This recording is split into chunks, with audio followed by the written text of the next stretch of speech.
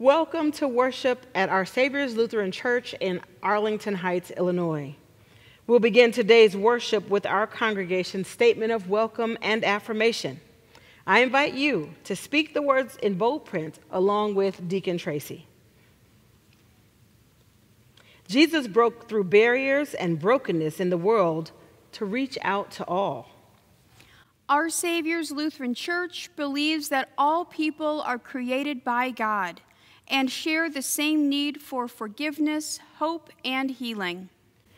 Even on issues where it is difficult to reach a consensus, our Savior's desires to reflect the love of Jesus with a welcoming spirit. Moving beyond the common distinctions of race, national origin, age, gender, identity, physical, mental, and emotional condition or capacity, political perspective, personal history, marital status, sexual orientation, economic or social situation, we seek to welcome all people into a life giving relationship with Jesus Christ and one another.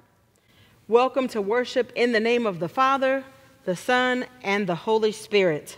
Amen.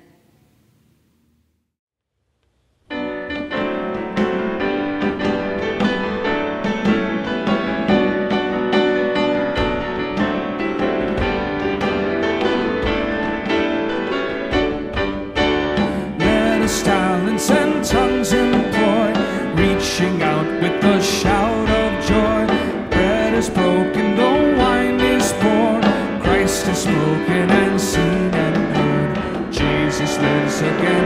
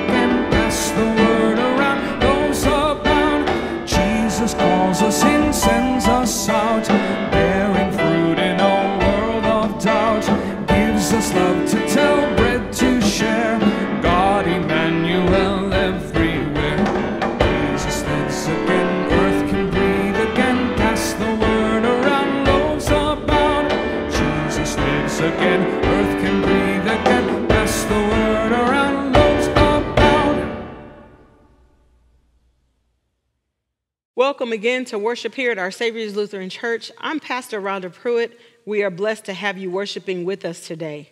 We have a few announcements just so that you know how to carry on with the week. I want to start off by telling you that our call to worship was part of our statement of affirmation here at our Savior's.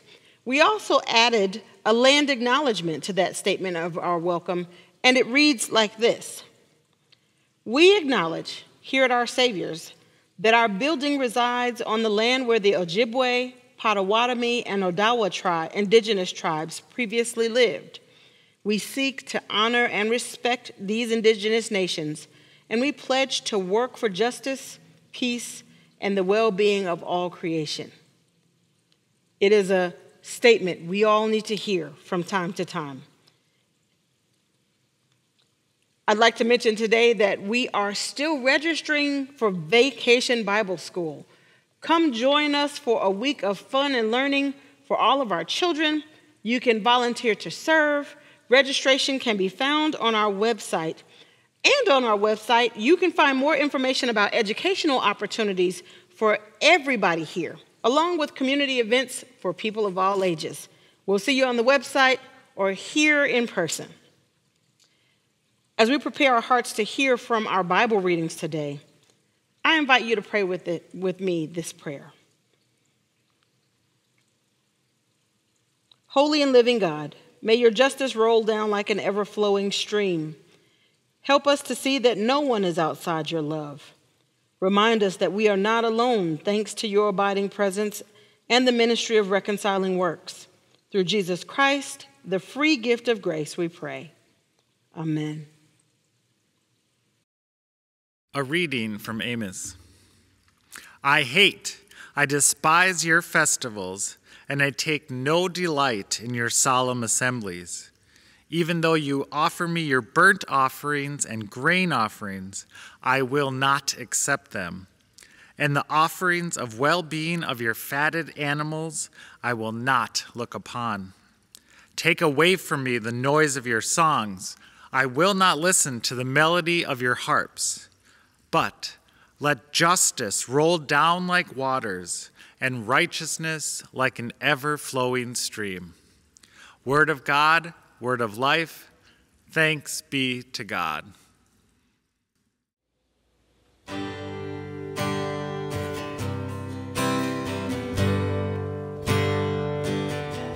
Let us be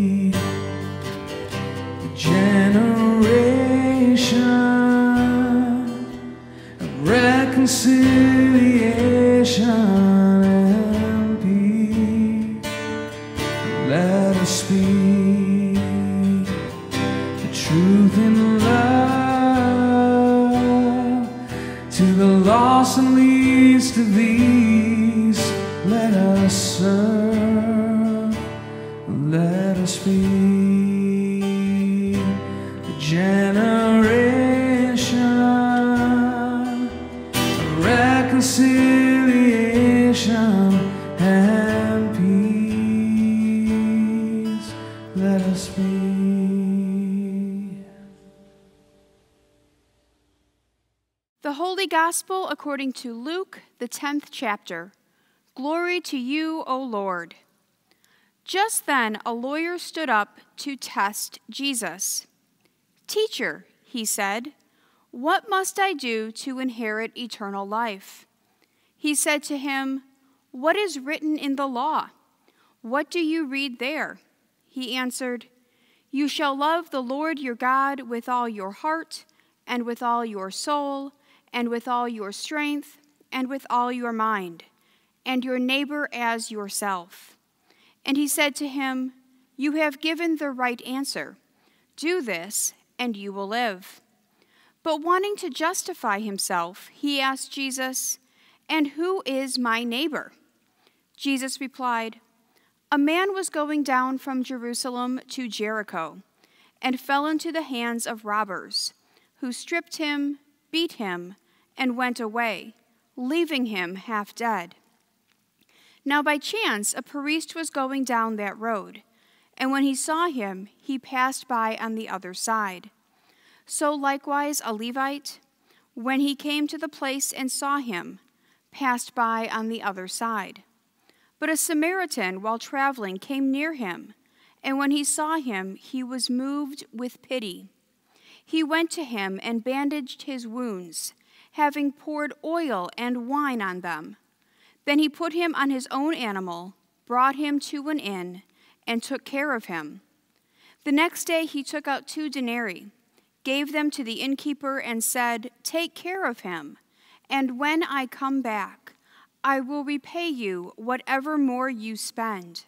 Which of these three do you think was a neighbor to the man who fell into the hands of the robbers? He said, The one who showed him mercy. Jesus said to him, Go and do likewise. The gospel of the Lord. Praise to you, O Christ. We pray. May the words of my mouth and the meditation of all of our hearts be acceptable in your sight, O Lord, our strength and Redeemer. Amen. It's me again, here with another idiom that I heard growing up in our family. I have no idea where it came from, but I remember how often or how well it was used. Something would be happening, and we'd hear, the road to hell is paved with good intentions. As a young person, I didn't always understand it, and I can't say honestly that I cared. And so often I would respond with, yes, ma'am, or no, ma'am, to my grandmother or to some elder who was repeating that phraseology. But most times, I didn't know. But now that I've gotten older, I understand a bit better. My mom is here with us at home. And as I've been watching my mom with my children, I understand a little bit better how this parenting thing works. You see, my mom, she parented me, but amazingly enough, she disciples my children. When I was young, she would tell me what to do go here, do this, say that, don't do that, because she was giving me the necessary life skills and tools. But as I watch her with her grandsons, she doesn't necessarily instruct or indicate, she guides them into their own self reflection. She guides them into their own thought process. There are times when she's encouraging them. Is that what you want to do? Do you know what that's going to bring out? Or are you trying to make this deadline? And then there are times when she makes them think about the consequences of their choices. If she asks them to do something and it doesn't happen in the time frame that she expected it to happen, she'll say something like, You must have been trying to tell me that you didn't want to do it. And my sons will immediately self correct and say, No, Granny, that wasn't it at all. We just forgot. We meant to do it. The moment I hear that, what plays in my mind, but not out loud, the road to hell is paved with good intentions. The more I thought about it, when I heard it from my grandmother, and now as I see my mom teach my children some of these altruisms and some of these idioms that I couldn't necessarily explain, I get it a little bit better. What does it mean when the road to hell is paved with good intentions? It means that sometimes our intent has no fruit, no power whatsoever. And it's our actions that speak for us. You can find plenty of self help gurus across the internet, on books and in books and in magazines that tell you that actions speak louder than words. And they say it in a bunch of different ways, as simply as they would say, the road to hell is paved with good intentions. Apologies have action behind them. Show me what you do, and I'll tell you who you are. All of these things seem to tell us that there's something that has to do with our actions built into what we believe to be true. Here's the thing we're Lutheran. Most of us are, anyway. And we seem to think that when we try to do the right thing, that's when we're messing up. We are ticking God off. We can't get it right, so why try? But there's another way of looking at this. Sometimes it's our actions that speak about who we are. It's our actions that tell the real truth about what we think, believe, or what we hold to. If you look at our welcome statements, if you look at the land acknowledgement we've added, we have all kinds of things that say we are a welcoming place. We want to tell you that we love all people regardless of their social or mental conditions, their economic situation, their status. We love all people regardless of who they love, how they love, where they love, what they love, what they look like when they love. We love all people. We have all of the, the, the acronyms, and we adhere to this, and we tell you about it. You know what's better than telling you about it? Living it. In today's gospel story, there's a lawyer who comes to Jesus and asks Jesus how to gain eternal life. And Jesus tells the story of a man who is taken upon, injured by the world and criminals, and is left on the road to die. People come and pass by this man and they see him laying there, but because he is injured, looks grimy, is bloody, he doesn't have the right look, or they are sworn social enemies, they don't help. One steps over to the other side. One casually walks around. One looks and keeps going. And the one person who stops to help is the man who says, We don't get along in society. We're on opposite ends of the spectrum. We don't believe the same policies. We don't think the same way. He does what I would never do. Our communities would never associate with one another. We are social enemies. But here's what I do know that man is injured, and I know pain. I'm going to help that man in his pain. So he lifts the man up, puts him on his donkey, takes him to an inn, cares for him, and then when he has to be on his way to continue his own business, he pays for the man's continued upkeep. Jesus, after telling this story, asked the, the lawyer, Which one of these four people who saw this man injured was his neighbor? And the man said, The lawyer said, The one that showed him mercy. Jesus said, Go and do likewise. The key point for me here is Jesus says, Go and do likewise, not go and feel likewise, not go and believe likewise. He says, Go and do likewise. In our First Testament text today, we hear, I despise your songs and your dances and your rituals and your offerings. Don't give me any of that stuff, but let justice roll down and let righteousness flow. So I looked up justice and righteousness to find out exactly what's the difference. Well, righteousness for us who are believers is God's standard of wrong and right and what it looks like. Justice is the application of God's standard in our lives. We can't just think God's righteousness or think God's standards. We have to look at and do God's standards. That's where the challenge comes in about living with one another and doing this thing. That's where the challenge comes in, and that's where we as a church have oftentimes failed.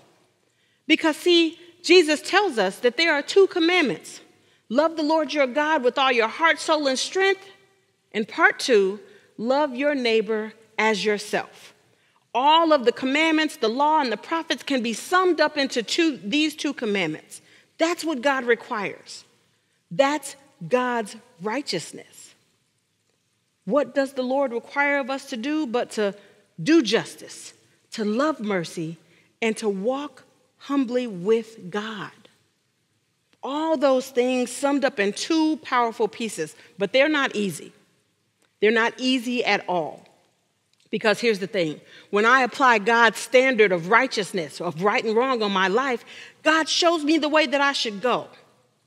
Now, it's just as easy to say, well, that's common sense. You know, if God says do this for me, then God just must be saying do that for everybody else. God must be saying the same thing to everybody, and anybody who veers off the way I understood God said it has got to be wrong. With those thoughts, with that ideology, we, the church, have been performers and participators in the wounding of people outside of our doors. Because we've decided that God's direction for us is God's exact direction for somebody else. So let me give you an example. If you and your neighbor, who lives across the street from you, exactly across the street, were to go out and make a left turn and then a right turn and then a left turn and a right turn, and continually do that, you would never wind up in the same place. You would move farther and farther away from each other because you followed the same directions, but from a different vantage point. The news is that God is calling us to live the principle and the standard. In the example with you and your neighbor, you have the same basic principles to meet at the stop signs and stop, to acknowledge pedestrians and give way, to follow the rules of the road. But there's not one time where you are required to go exactly the same direction in order to adhere to the rules of the road. In God's reign, we are all given direction. And God may be calling each of us to do different things, just as God would call a prophet or a preacher or a teacher or an evangelist or an encourager. God may be all calling us to do different things. But God calls us to love God and to love one another. God doesn't say, as long as they love like you do, as long as they believe like you do, as long as they look like you do. God never says that. In fact, today's gospel story is living proof that that is not a requirement in order to follow the law of God. Let justice roll and let righteousness flow has nothing to do with people out there. It has to do with us in here. You have to live the welcome. You have to be the encouragement.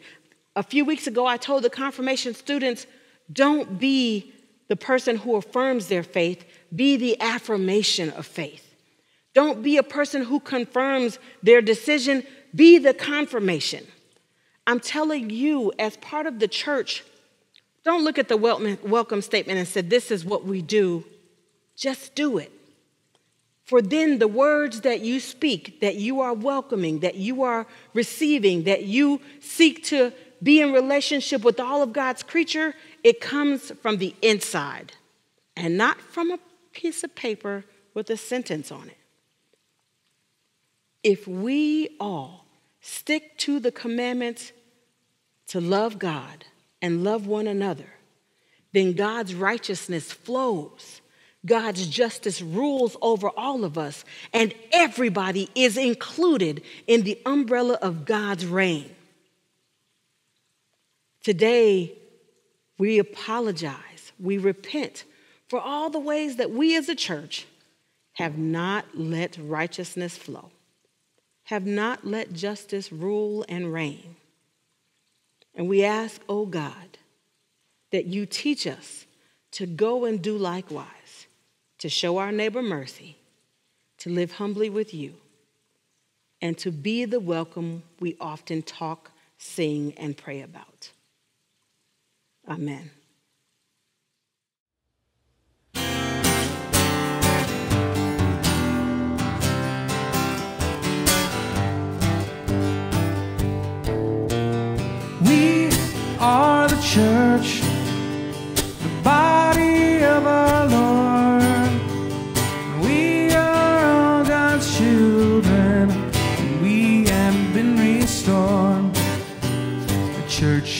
Not a building where people go to pray. It's not made out of sticks and stones, and it's not made out of clay. We are the church, the body of our Lord. We are all God's children.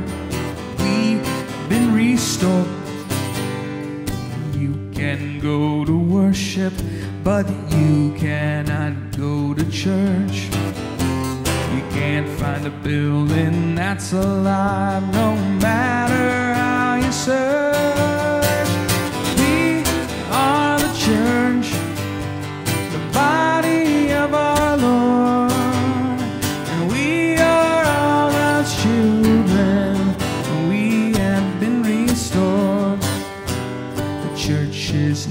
a business, a committee, or a board.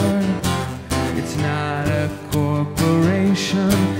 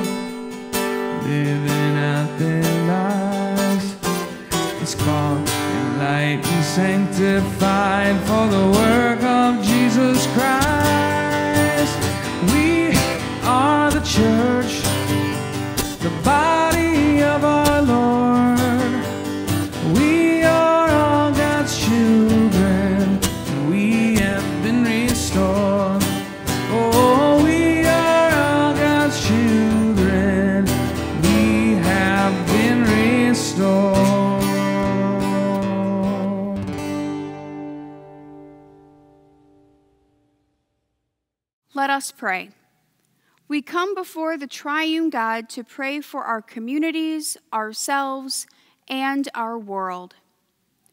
Loving God, we give thanks for pastors, deacons, bishops, and church leaders who do their best to live out the loving and welcoming community in Jesus Christ. May they be bold in their call to radical hospitality, inclusion, and the work of justice of all God's diversity. And may we do our diligence in calling them to deeper and more meaningful justice that they might not see. We give thanks for ReconcilingWorks 50 years of ministry and all of the reconciling in Christ partners. May their ministry with their members, communities, and the larger church be a mighty force of justice rolling down like an ever flowing stream. Lord, in your mercy, hear our prayer. Creator God, your presence is revealed in the shade of trees, the growth of seeds into flowers, and the blessing of plants granting food in their right season. Heal lands scarred by deforestation, pollution, or infestation. Teach us to cultivate the earth with respect and reverence. Lord, in your mercy, hear our prayer. Merciful God, we remember the echoes of prayer in this time of pride, and we celebrate the beautiful diversity of your creation. We lift our voices for people of all sexual orientations, gender identities, gender expressions, black, indigenous, and people of color, people of expansive abilities, and all those who still face discrimination, fear, and violence for who they are. Grant the courage to find their voices and live authentically. Empower us, your church, to be a beacon of inclusion and justice making. Lord, in your mercy, hear our prayer. Gracious God, we pray that your love may bring comfort to those who feel pain or sickness. Embrace all who feel lonely or excluded and continue to walk next to those who are fighting battles that only you know about. We continue to pray for those who need your healing touch. Lord, in your mercy, hear our prayer. Eternal God, in thanksgiving, we lift before you the saints for whom the promise of salvation has now been fulfilled. Tend to all those who mourn. Lead us in your grace until, with all your saints, we enter the fullness of your glory. Lord, in your mercy, hear our prayer. Receive our prayers, O God, and come quickly to our aid through the power of the Holy Spirit and the love of Jesus Christ. Amen.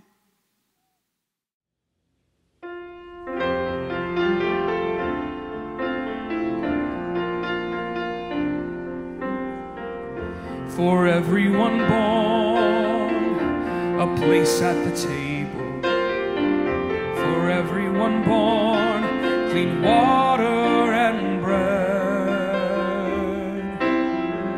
A shelter, a space, a safe place for growing. For everyone born, a star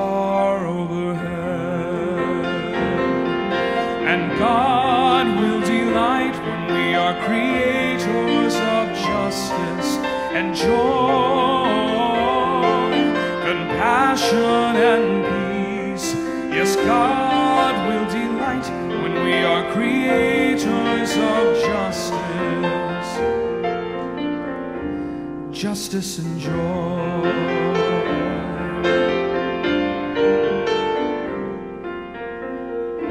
for young and for old, a place at the table, a voice to be heard, a part in the song. The hands of a child in hands that are wrinkled, for young and for old,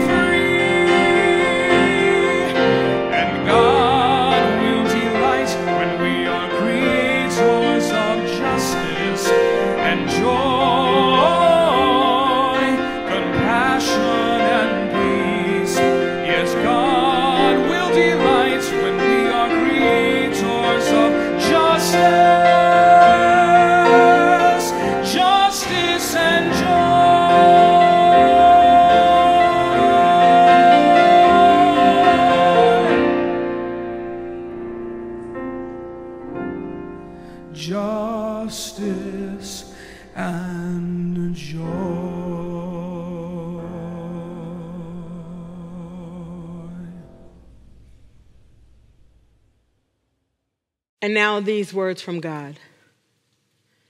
May the reckless, overwhelming love of God keep us, guide us, and continue to make us righteous every day. May the extravagant, overwhelming love of Jesus Christ enfold every soul into the work of the church and into the kingdom, queendom, and the reigndom of God. And may the Holy Spirit ever call us forward to the path that leads to life. Father, Son, and Holy Spirit, bless you now and forever. Amen.